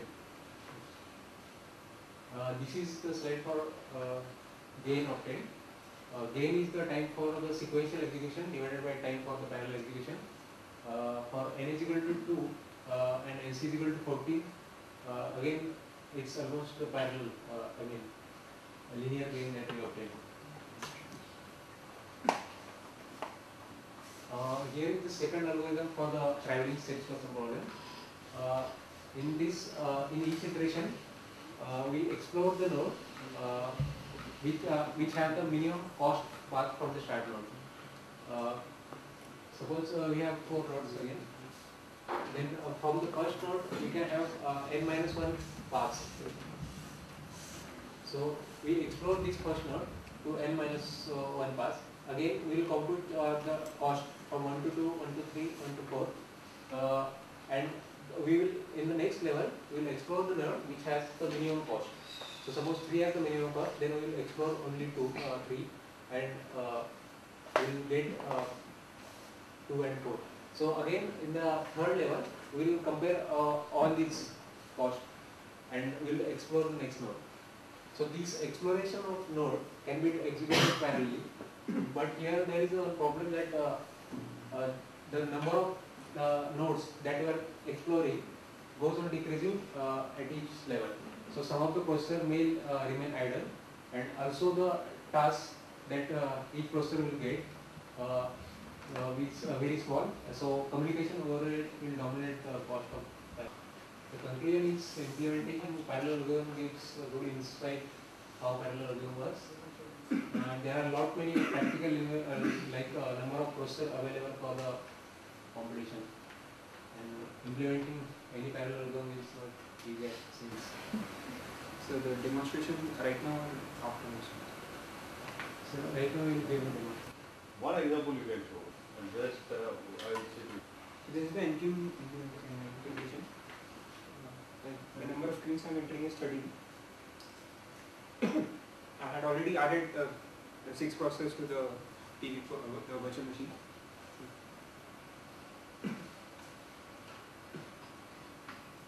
So this is the parallel uh, execution time, please. seconds.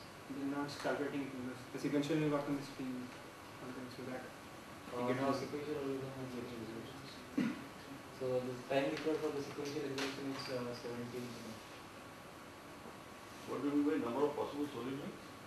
Uh, number of solutions. Uh, So in Yeah, the NQ's possible. problem, we can have uh, the NQ's What based the different different explaining.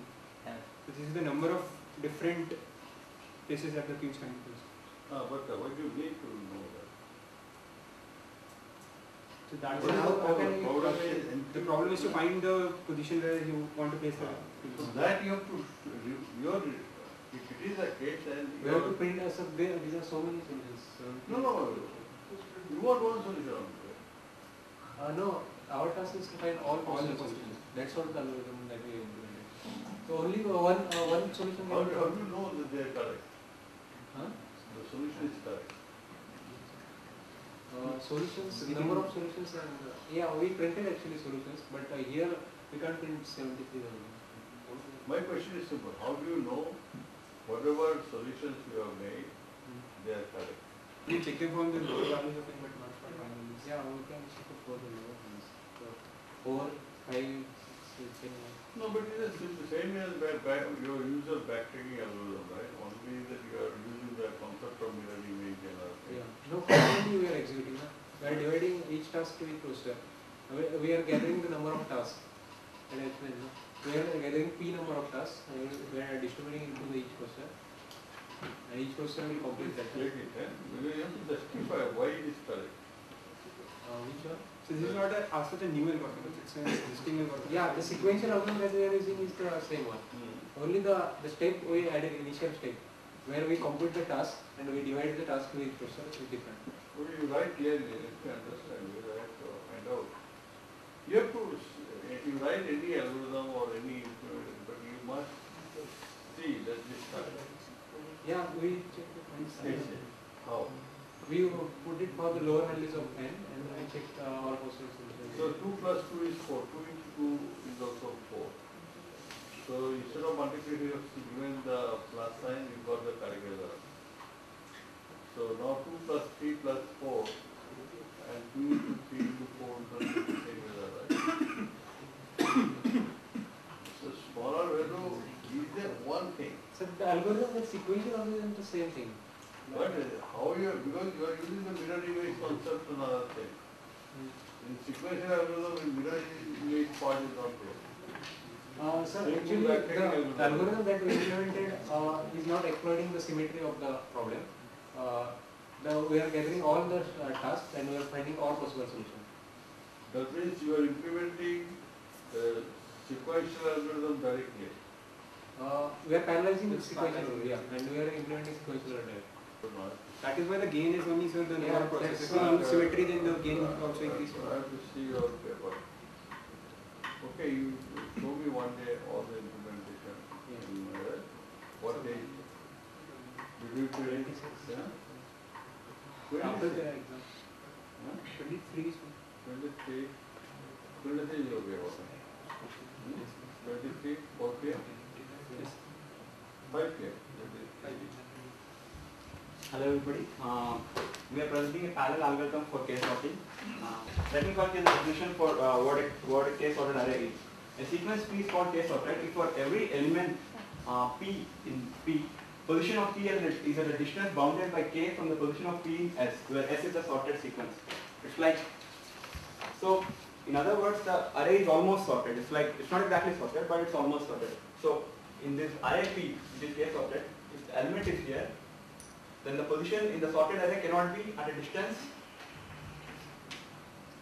distance uh, greater than equals to k. So when you say the array is one sorted, it just means that the array is completely sorted.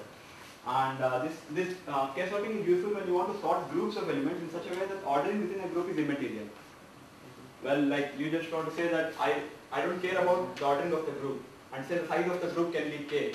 Then if you do k sorting, what you uh, get is what you need. Yeah, just one or two properties of the k sorted sequences. Uh, well, if B is a k sorted sequence, then uh, well we define two things. One is LB of BI, which is nothing but larger before. The, and uh, when I say sorted sequence, I mean an ascending sequence, not a descending sequence. And the larger before of BI is nothing but set of all elements before that, which are more than this element. So in other words, these elements have to be transferred here when you want to sort it. And similarly, smaller after is nothing but the set of smaller elements here. Exactly. And it can be easily seen that the number of elements here, that is the number of smaller elements here minus the number of larger elements here, will be nothing but the position of this element in the final sorted array minus the position in this array. Because in the final sorted array, what you will be doing, nothing but is just move these elements here and move these elements here, then you will get the actual position. Now this is one property which can be proved. Satish, one question. Uh, you are discussing this with, uh, regarding the sorted position of the element or the See, non-sorted? S of Bi is the position of the element in the sorted sequence. S is the sorted sequence. See, what is the position of this element in the sorted sequence? An easy way of saying this. Is this element is already in the sorted position or not? No, no, this element is not in the sorted position. This element is in position I Uh, in the array P, which is okay. So if you sort it, No? then And go on. Yeah okay. So, and sequence B is k sorted if and only for all I we have this result that number of elements, you know, SA, the smaller elements after and the larger element before, both are less than k. What is the range you are considering for after and before? All, everything. Here, here I am not mentioning that it is k sorted or anything. Okay. Yes. I am just saying that you know the number of elements here and here will determine the actual position. So we actually uh, design a uh, parallel algorithm for k sorting based on the parallel algorithm for merge sorting. Well, principal will uh, carry on. Uh, Actually, what we are proposing is basically a parallel algorithm for k sorting problem. The model which we are using is basically the shared memory model with concurrent read and exclusive write access. The number of processors required in uh, our algorithm is basically order of n. The time com- complexity comes out to be order of log k log n k plus log square n k. It's fairly good complexity and the, uh, clearly the cost uh, is of order of 1 log k log n by k plus n log square n by k. Uh, we can see that uh, from the co- the formula from the time that uh, if we put the k equals 2 and that is the uh, case of the sorting uh, time complexity comes out to be a order of log square n and the cost comes out to be a order of n log square which is, which is the same as that we have obtained in the class using by, by doing sorting network and hypercube model. Uh, before uh, describing the algorithm to uh, from our actual problem case sorting, uh, I will describe the algorithm that uh, have designed parallel merge sort which we are using with some modification in the case sorting problem. Uh, so this is the merge step in the algorithm. Uh, A, B are the two array of the same size n and they are sorted actually. Uh, the step one in the algorithm is we initialize an array position. What uh, for this array is this array basically at the end of the algorithm. The position array will determine the position of the uh, all the elements of array B in the final merged array. So suppose uh, if the uh, is at, position j in the final merged array, so the position i will, the value of position i will be j at the end of the algorithm. Uh, we are initializing the, all the elements of position array as one. Uh, this step will be followed one.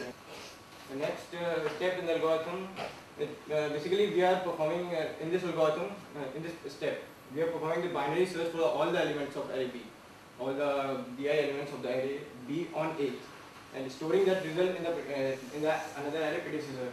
So it is uh, actually we are using the uh, concurrent read model, so all these binary search can do in parallel.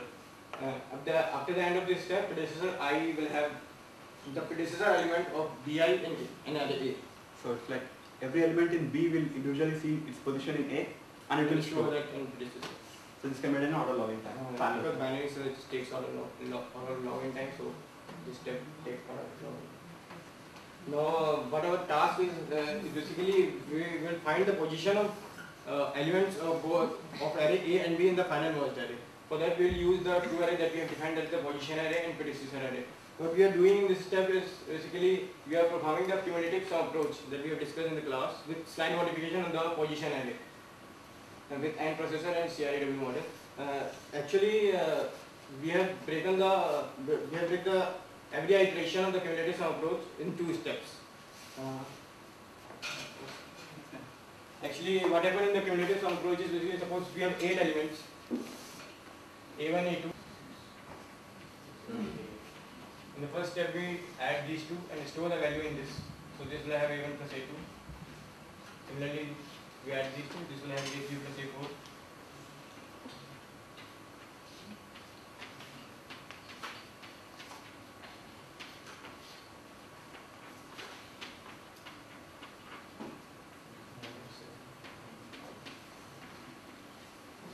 In the next step, we are sending the data of uh, A1 plus A2 to these two processes.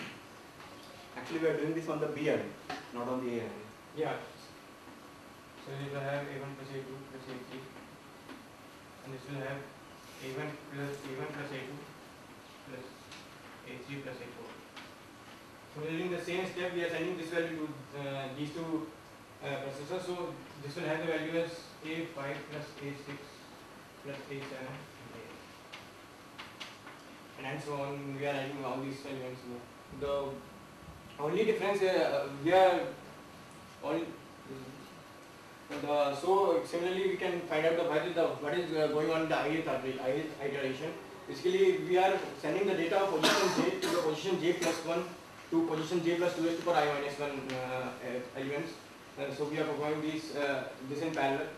Till this point this is the same algorithm. The only additional step what we are doing is basically we are checking whether the predecessor j and predecessor of j plus 1 they are same or not. If they are same then we are we are adding 1 to all these elements. Actually, why we are doing this basically predecessor of j is not equal to predecessor of j plus 1 means that the predecessor element of bj in array A and predecessor element of bj plus 1 in array A, they are not same. So if we say like this, suppose this is bi, bj and this is bj plus 1. Predecessor of this will lie here and predecessor of this will lie here. So clearly this element will lie between these two elements. So we have to create a space for this element in the final merge area. That is why we are adding one to create this space. And finally, the element is predecessor j, j plus 1. So uh, the, we can find out the, uh, the position of the predecessor j plus 1 in the final merge array. That position will be position of j plus 1. So similarly, after the, all the steps, we can find the position of all the elements of array in the final merge array. And al- also after the algorithm terminate, we also have the position array, which gives the position of all the elements of B in the final merge array. So we have the position of all the elements, so we can find the final merge array. Step 3 will take order log n time because of the cumulative sum approach that we have taken with n processor. Total time complexity is the sum of the all three steps, which is order of log n, and cost is order of n log 1. Next is the total number of merge steps required will be order of log n. So the time complexity parallel merge sort, it comes out to be order of log square n, and cost comes out to be n log square n. So keep it. I just want to emphasize this point here that while we are doing this in the B array, which is B array, so we just need to see which element of A is there. Like you know, you can't just add the number of elements of B. Suppose there is an element of B here. The position of this element in the final array does not uh, depend alone on the elements of B here. It also depends on the elements of B, elements of A which are smaller than this element, and they can be uh, easily found out, you know, by the cumulative sum by adding when the uh, adding one when the predecessors change. Yeah, and now we come to the case of the k sorting. As we saw, we got an log square and algorithm, uh, merge sort algorithm, and uh, basically the type of uh, you know for a given array, multiple k sorted arrays are possible. There, there- there is no unique uh, k sorted array, and the type of k sorted array what we are getting is, you know, this is the array with n elements.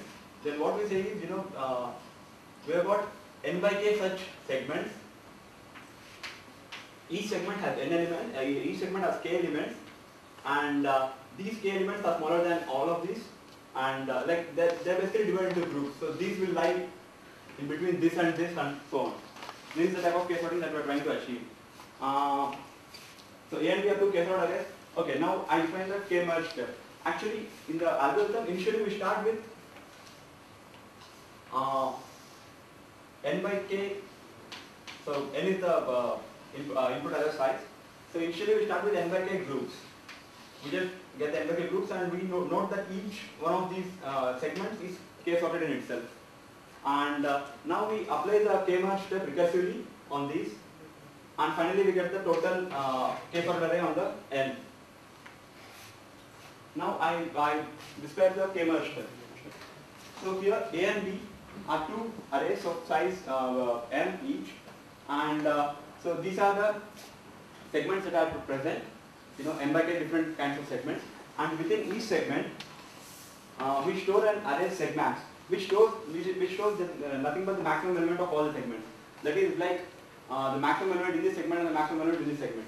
So there will be m by k elements in that segmax array and uh, so this is the step one of our algorithm. In the step one what we do is we just do the binary search for these segments. You know uh, what I mean by this boundary is the segmax of this segment. So I do the binary search for these segments on A this can be done in, uh, I'll do it parallelly and this can be done in order log m by k time. And then for, suppose for this particular segment I get the position as here, you know, and so it just means that all these elements have to lie here. You know, they cannot they cannot be here because this was what I thought was, was the maximum element of this particular segment. So now what I do is I for all these k elements here, I parallelly uh, get the positions here. Position in the sense the uh, amongst the groups. So which group it belongs to. So this also can be done in order uh, log m by k time. Now this this concludes the step one. Now in step two what I do is, you know, for every for every uh, boundary of A which has been chosen here, like say this one uh, uh, select this boundary and this one select this boundary and so on, something like that. So for every such boundary A, the k elements before that, I do the binary search here and I get their positions amongst these uh, groups. Uh, I'll explain why I have done that. Uh, this is because the elements here, you know, it may so happen, suppose this is the boundary for this. So this, it just means that this boundary will lie somewhere here and there will be some elements before that and there will be some elements after that.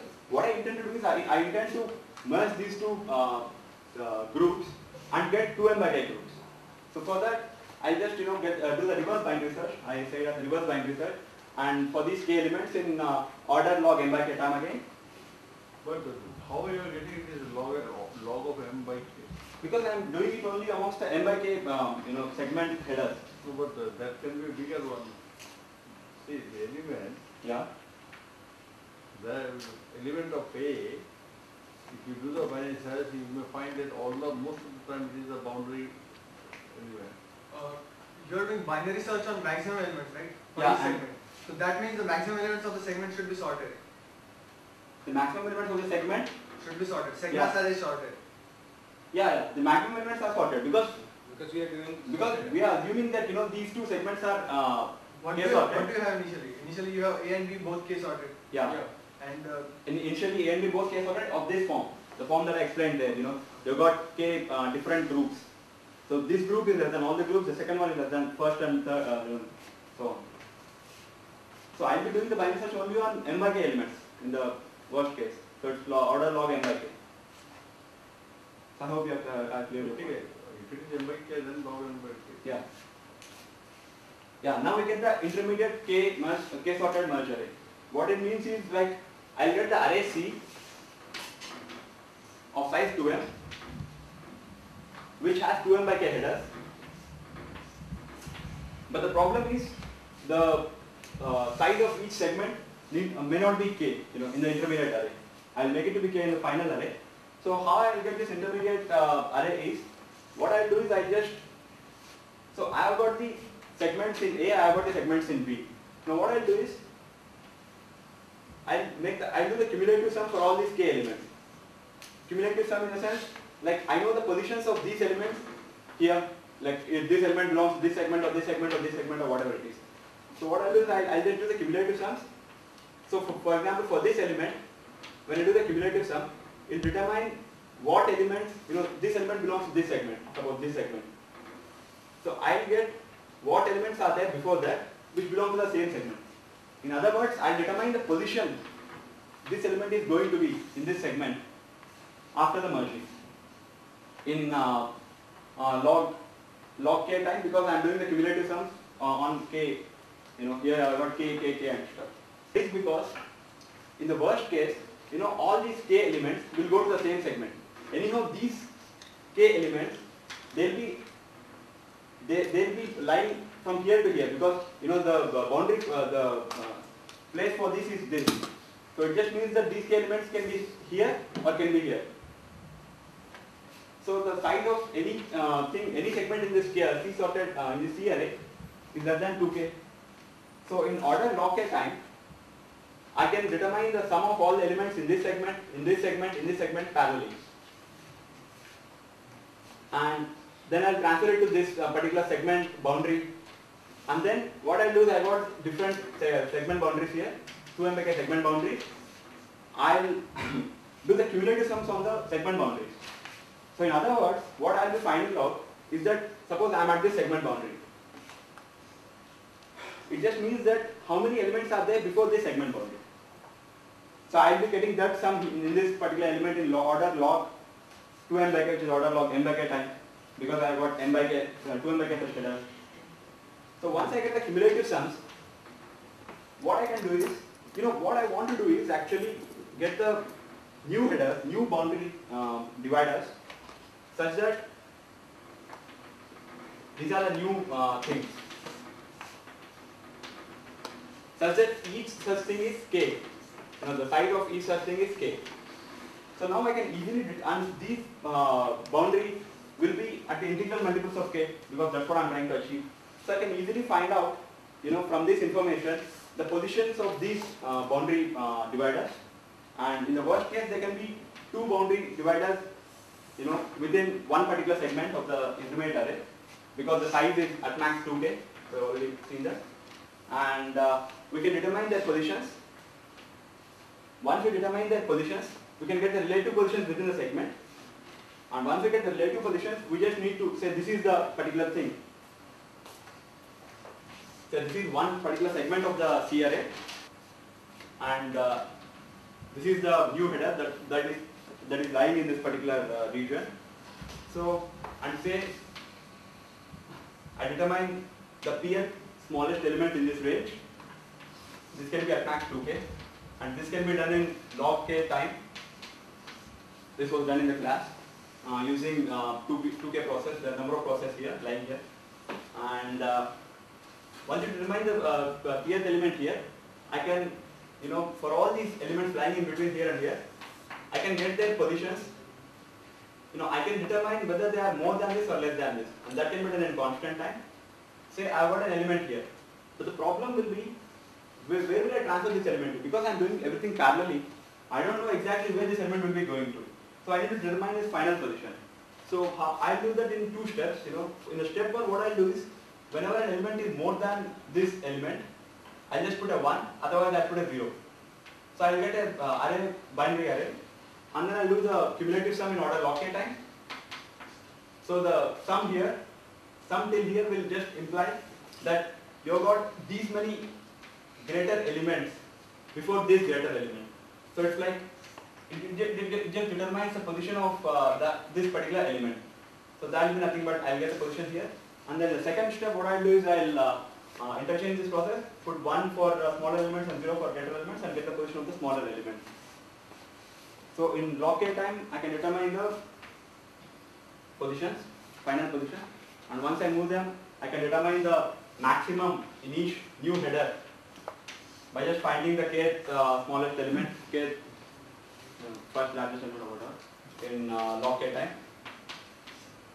And uh, so the total time for all these process, steps in k merge is log k, order log k plus order log n by k. And uh, we're using n process anyway. And the number of k merge steps, if we are starting with arrays of size k, and we are doing the merging till we get array of size n, so it will be in order log n by k. And uh, so the time complex is nothing but order log n by k into order log k plus order log n by k. What is log k, log k plus log n by k is equal to log n, right? Log k plus Log n by k equal to log n. Is it log of n by k or log n by k? Oh yeah log log n by k. Is it log n by k or log n by k? No no log n by k. There is a Yeah log n log n. There is log square n. No There is Log no n log log n by k. yeah log log n log n by k. I can't find any parallel algorithm which does the thing in log n time. There is an uh, n log n cost parallel algorithm to solve. On CRCW you can sort in log n time. Huh? But CRCW.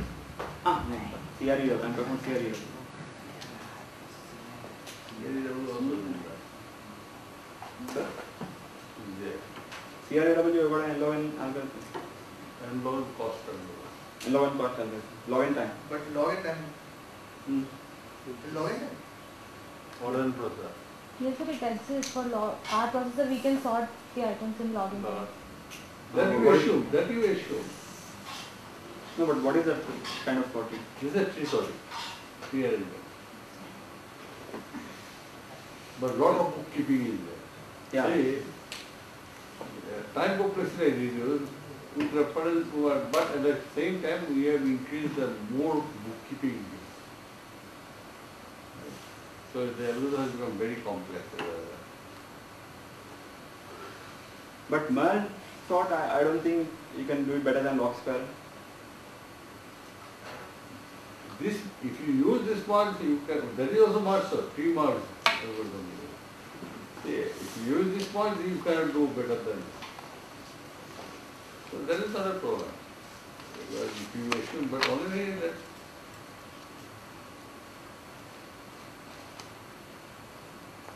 your time complexity is coming log k into log n, right? Log n into log n by k. Log k log a, eh? Log n log n be log square minus log n. Log n into log n by. Log square minus log k log n. Log square minus.